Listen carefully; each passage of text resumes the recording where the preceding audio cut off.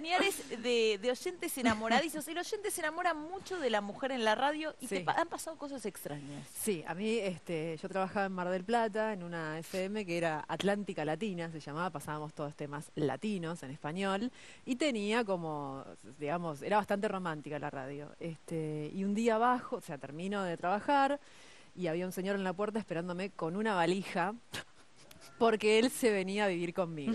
Él había interpretado que los temas que yo pasaba eran para él, que teníamos una historia de amor, esto me decía, y que como yo le negaba ahora esto, esto que habíamos acordado de alguna manera en el aire. Construido juntos. Claro, y yo le decía, no, pero escúchame, tuvo que venir la policía, porque él estaba absolutamente convencido y me decía, mi amor, mirá, traje todo, o sea, bueno, El señor en su casa le hablaba a la radio y creía que vos lo estabas sí, escuchando. poco me arrepiento, porque Por nunca ahí. más me pasó que alguien me diga, me voy a vivir con vos, mi amor, y todo ese No. tipo de cosas. No, generalmente Pero lo tenés bueno. que perseguir. El ¿no? tren pasa una vez.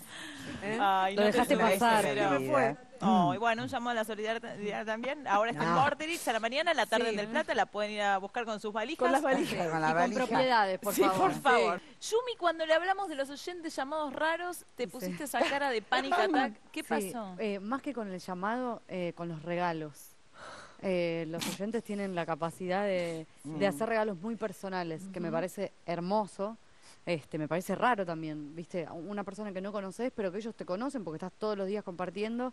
Y mm, hace dos o tres años recibí, bueno, lo, lo cuento con amor, eh, recibí por el día de mi cumpleaños un arreglo floral, pero de Miss Universo gigante, acompañado de una bolsa de papel madera. Entonces saco de la bolsa una carta escrita a mano muy grande y dije, estos son mis compañeros que me están haciendo una broma, porque no solemos hacer muchas bromas.